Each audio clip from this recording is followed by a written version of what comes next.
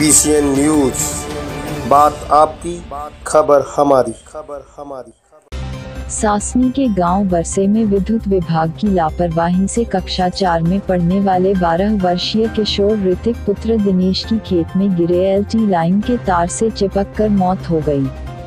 परिवार में कोहराम मचा। 17 अप्रैल की शाम तेज बारिश के कारण एलटी लाइन का तार टूटकर गिर गया था। ग्रामीणों का आरोप है कि विद्युत विभाग के अधिकारियों से शिकायत की समस्या का निराकरण नहीं हुआ। गुरुवार की शाम ऋतिक बरसी काटने गया तो टूटे पड़े तार में सप्लाई चालू थी जिससे ऋतिक की मौत हो गई। थोड़ी की चलेंगे? हम्म, क्या नाम है आपका? क्या घटना हुई है? क्या घटना हुई है? बिजली के तार थे। कौन ख़त्म हुआ? भतीजा है। क्या नाम है उसका? ऋतिक। कितनी उम्र होगी?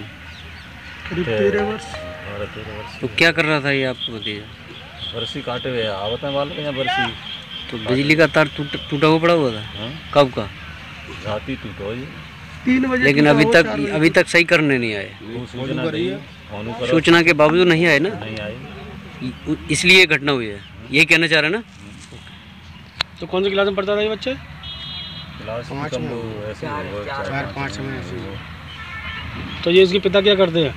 मेहनत- मजदूरी। करते हैं।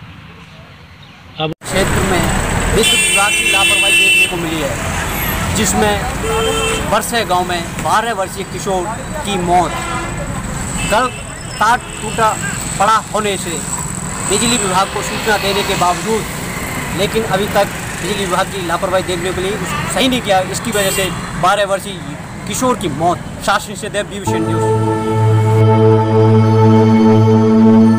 Siemens International School was established in the year 2012 under the aegis of Om Sarla Babu Educational Trust to cater to the educational needs of Hathras.